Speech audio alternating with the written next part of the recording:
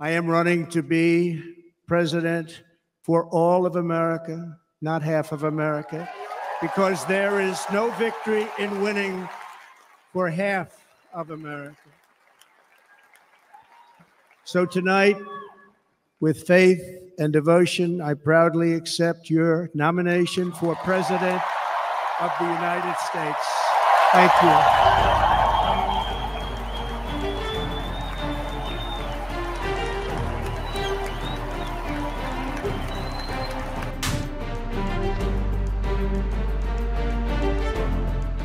I'm not supposed to be here tonight.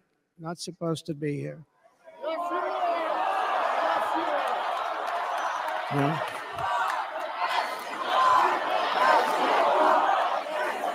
I went to the stage and the crowd was cheering wildly. Everybody was happy.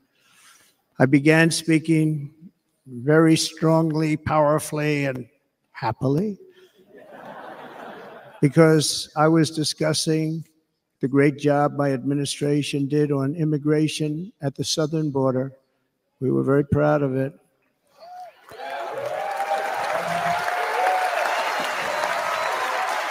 Behind me and to the right was a large screen that was displaying a chart of border crossings under my leadership. The numbers were absolutely amazing. In order to see the chart, I started to, like this, turn to my right and was ready to begin a little bit further turn, which I'm very lucky I didn't do, when I heard a loud whizzing sound and felt something hit me really, really hard on my right ear. I said to myself, wow, what was that? It can only be a bullet. And moved my right hand to my ear, brought it down, my hand was covered with blood, just absolutely blood all over the place.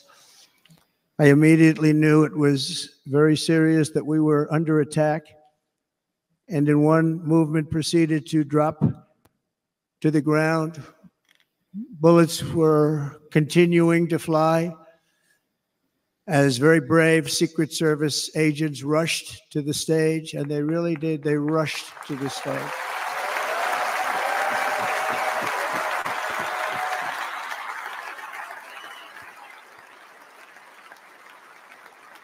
These are great people at great risk, I will tell you, and pounced on top of me so that I would be protected. There was blood pouring everywhere, and yet, in a certain way, I felt very safe because I had God on my side.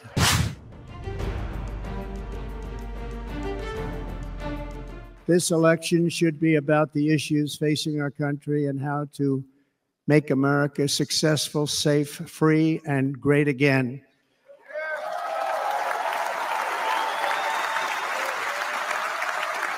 In an age when our politics too often divide us, now is the time to remember that we are all fellow citizens. We are one nation under God, indivisible, with liberty and justice for all.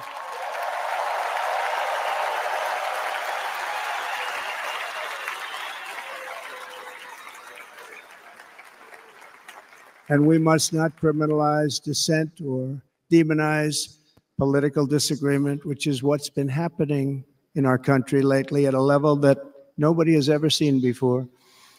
In that spirit, the Democrat Party should immediately stop weaponizing the justice system and labeling their political opponent as an enemy of democracy. Especially since that is not true. In fact, I am the one saving democracy for the people of our country.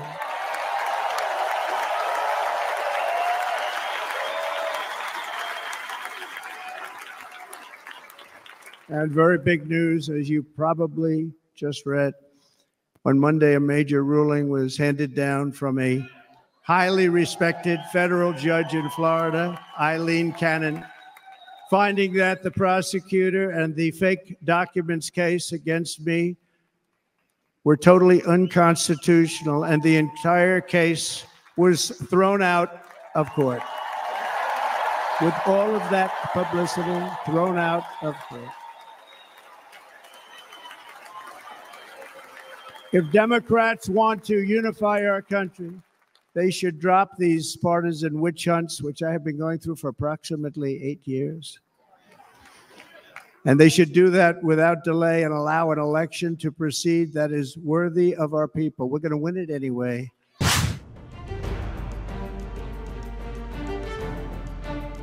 Under our leadership, the United States will be respected again. No nation will question our power. No enemy will doubt our might. Our borders will be totally secure. Our economy will soar. We will return law and order to our streets, patriotism to our schools, and importantly, we will restore peace, stability, and harmony all throughout the world. But to achieve this future, we must first rescue our nation from failed and even incompetent leadership. We have totally incompetent leadership.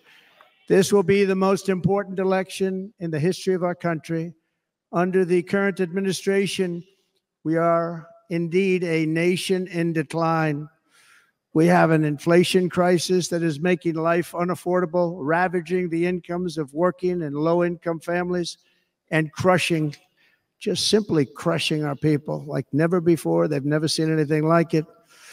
We also have an illegal immigration crisis, and it's taking place right now as we sit here in this beautiful arena.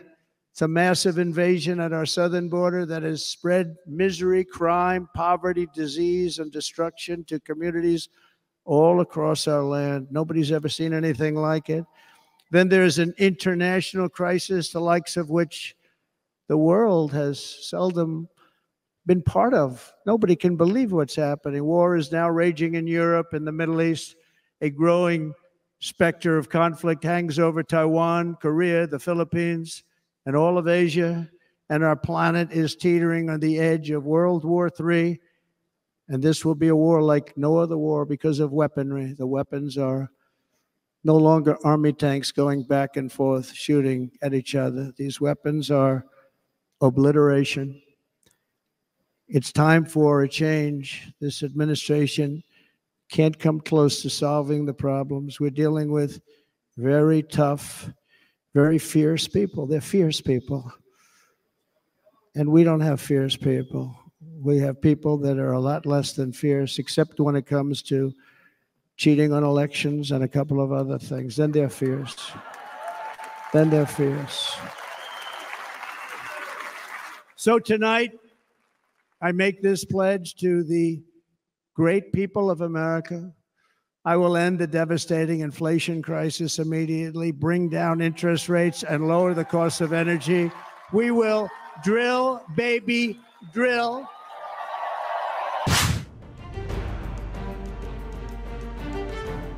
I will end the illegal immigration crisis by closing our border and finishing the wall, most of which I've already built.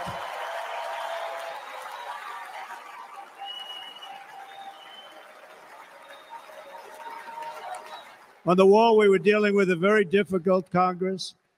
And I said, Oh, that's okay. We won't go to Congress. I call it an invasion. We gave our military almost $800 billion. I said, I'm going to take a little of that money because this is an invasion. And we built most of the wall is already built. And we built it through using the funds because what's more, what's better than that? We have to stop the invasion into our country that's killing hundreds of thousands of people a year. We're not going to let that happen.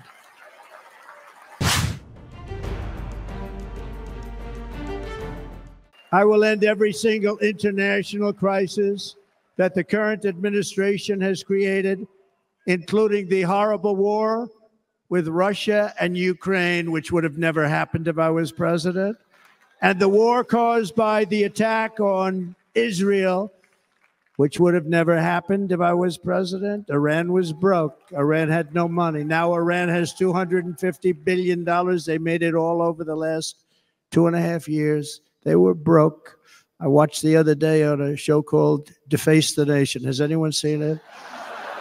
and they had a congressman who was a Democrat say, well, whether you like him or not, Iran was broke dealing with Trump. I told China and other countries if you buy from Iran, we will not let you do any business in this country, and we will put tariffs on every product you do send in of 100% or more.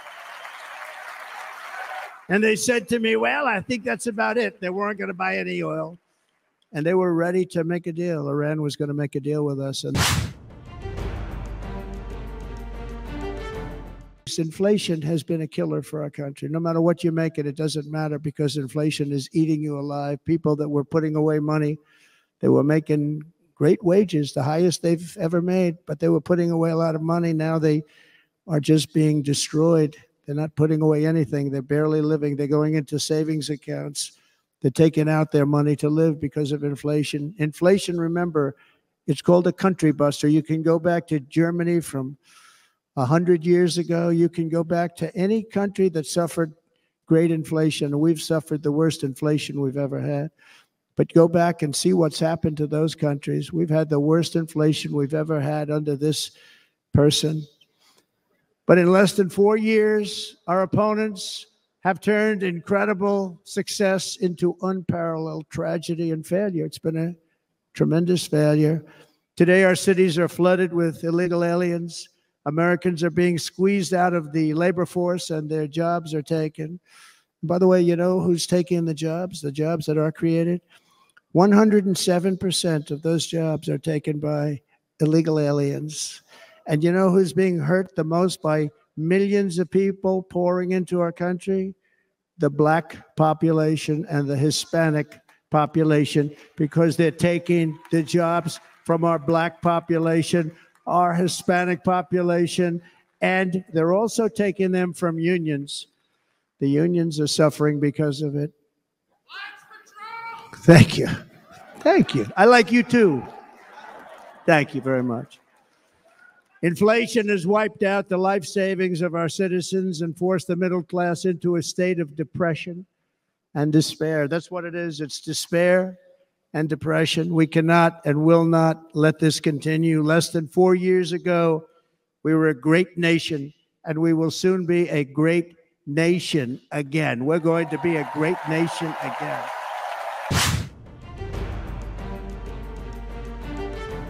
First, we must get economic relief to our citizens. Starting on day one, we will drive down prices and make America affordable again. We have to make it affordable. It's not affordable. People can't live like this. Under this administration, our current administration, groceries are up 57%, gasoline is up 60 and 70%, mortgage rates have quadrupled. And the fact is, it doesn't matter what they are because you can't get the money anyway. Can't buy houses. Young people can't get any financing to buy a house. The total household costs have increased an average of $28,000 per family under this administration. Republicans have a plan to bring down prices and bring them down very, very rapidly. By slashing energy costs, we will in turn reduce the cost of transportation, manufacturing, and all household goods. So much starts with energy. And remember, we have more liquid gold under our feet than any other country by far. We are a nation that has the opportunity to make an absolute fortune with its energy. We have it, and China does it under the Trump administration just three and a half years ago, we were energy independent, but soon we will actually be better than that. We will be energy dominant and supply not only ourselves, but we will supply the rest of the world with numbers that nobody has ever seen, and we will reduce our debt $36 trillion. We will start reducing that. And we will also reduce your taxes still further. Next, and by the way, they want to raise your taxes four times, think of it, And all my life, I grew up watching politicians. I always loved politics. I guess I was on the other side. I'd watched poli- and they were always talking about, "We will give you a tax cut. We will give you a tax cut." We, my whole life, I was watching. I will give you a tax cut, right, Mr. Congressman? That's all they talked about.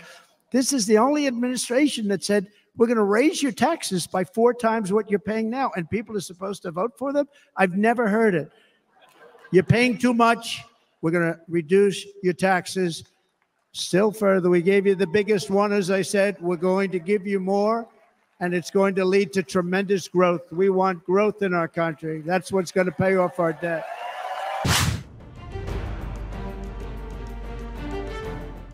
We will not let countries come in, take our jobs, and plunder our nation. They come and do that.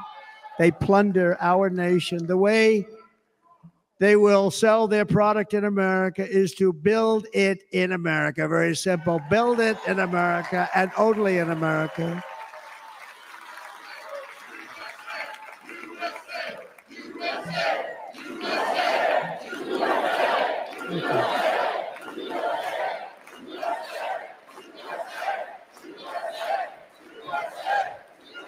And this very simple formula, and Congress has to go along with us, and they will. This very simple formula will create massive numbers of jobs. We will take over the auto industry again and many, many hundreds of thousands of jobs. We lost so many jobs over the years. If you go back 20, 25 years, they've stolen going to China and Mexico about 68% of our auto industry manufacturing jobs. We're going to get them all back. We're going to get them all back, every one of them.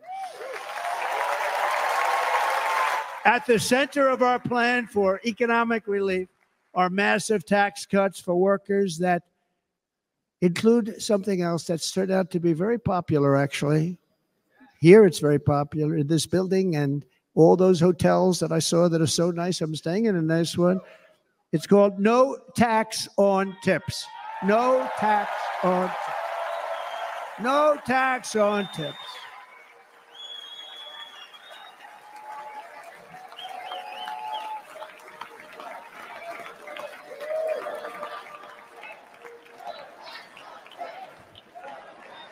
I got that by having dinner recently in Nevada, where we're leading by about 14 points. Hello. I'll see you there very soon, everybody. And we're having dinner at a beautiful restaurant in the Trump building on the strip. And it's a great building. And the waitress comes over. How's everything going? Really nice person. How's everything? Oh, sir, it's so tough. The government's after me all the time on tips, tips, tips. I said, Well, they give you cash. Would they be able to find him? She said, Actually, and I didn't know this. She said, Very little cash is given. It's all put right on the check. And they come in and they take so much of our money. It's just ridiculous. And they don't believe anything we say. And they've just hired, as you know, 88,000 agents to go after them even more. And I said, this shows the level of my, you know, most people go out, they hire consultants, they pay millions of dollars. But I said to her, let me just ask you a question. Would you be happy if you had no tax on tips? She said, what a great idea. I got my information from a very smart waitress. That's better than spending millions of dollars. And everybody, everybody loves it. Waitresses and caddies and drivers and everybody's a large, large group of people that are being really hurt badly. They make money, let them keep their money.